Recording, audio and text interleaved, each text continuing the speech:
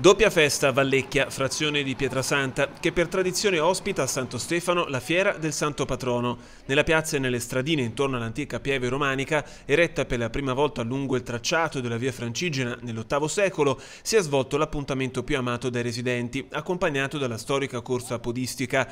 Già dal mattino molti visitatori provenienti soprattutto dai comuni della Versilia storica e i residenti della zona si sono affacciati ai mercatini di via Pigli e dintorni. Una fiera che nonostante cambiamenti dei costumi riesce a resistere, pur in un calendario non facilissimo, all'indomani di pranzi e cenoni natalizi.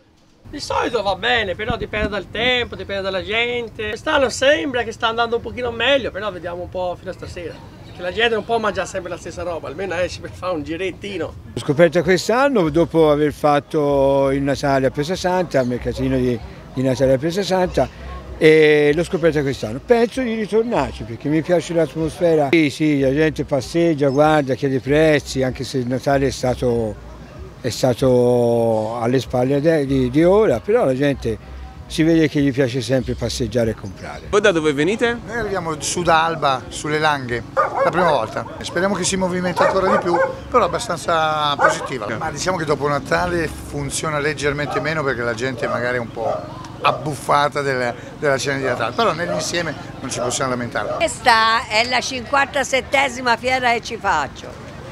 Non è che ci ho fatto un anno o due, sono 57 anni. Quindi funziona? Funziona, cioè, negli anni, eh, ora ha perso tanto, anni indietro la gente ce n'era molta di più, però io ho tanti clienti, non mi voglio lamentare. Quando uno è 80 anni e ci viene, il prodotto glielo dà buono,